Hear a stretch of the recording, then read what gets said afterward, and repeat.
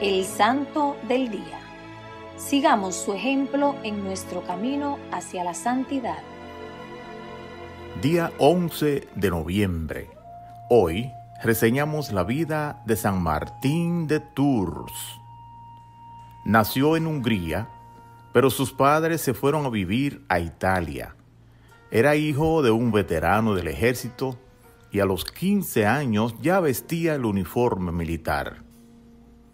Durante más de 15 siglos ha sido recordado por el hecho que le sucedió siendo joven y estando de militar en Amiens, Francia.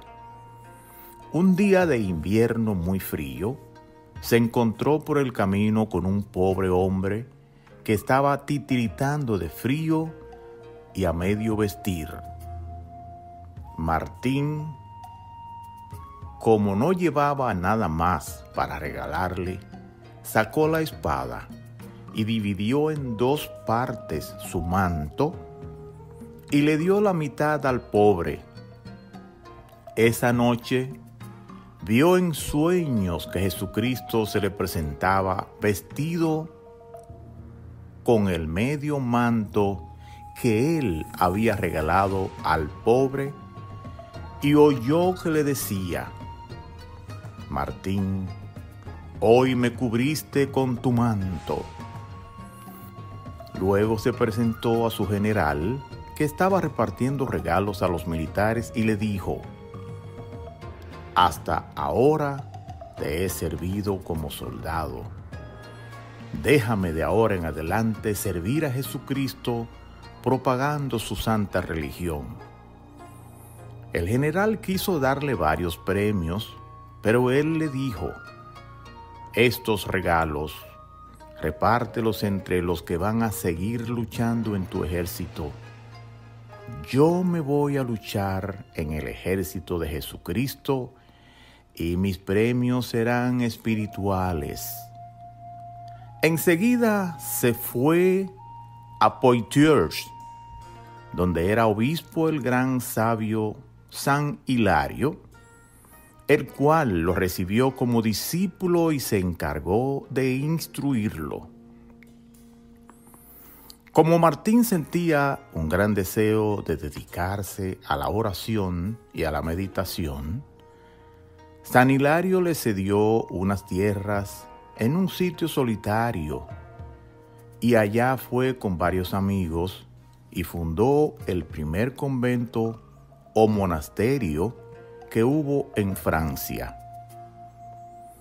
En esa soledad estuvo diez años dedicados a orar, a hacer sacrificios y a estudiar las sagradas escrituras.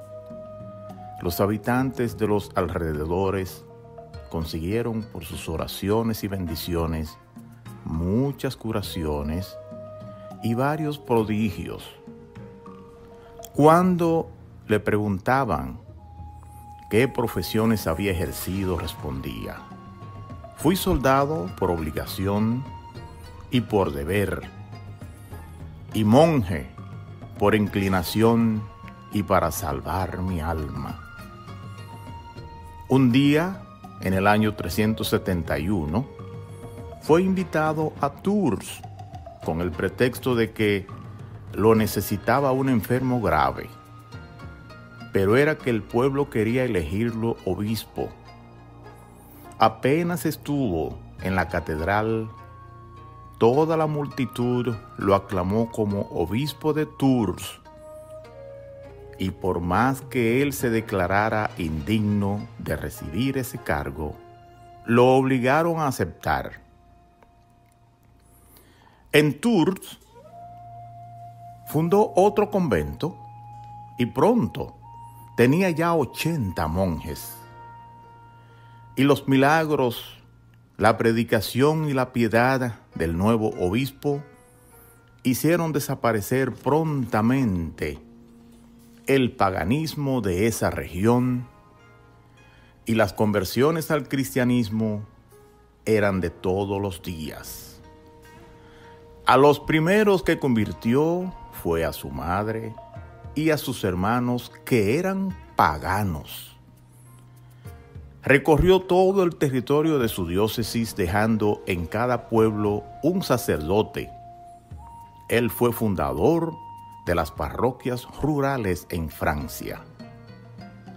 La gente se admiraba al ver a Martín, siempre de buen genio, alegre y amable, que en su trato empleaba la más exquisita bondad con todos.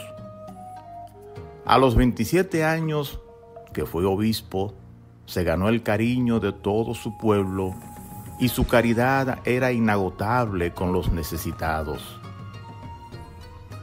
El medio manto de San Martín, el que cortó con la espada para dar al pobre, fue guardado en una urna y se le construyó un pequeño santuario para guardar esa reliquia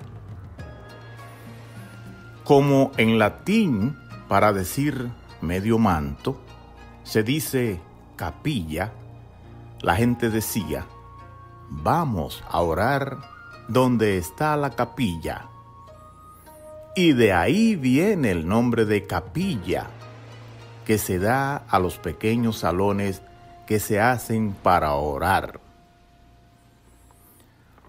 Hoy reseñamos otros santos y son San Bartolomé, el joven de Rosano, San Bertuino de Malone, San Cristiano, monje y mártir, San Juan el limosnero, San Toribio de Cantabria y Beata Alicia Kotowska.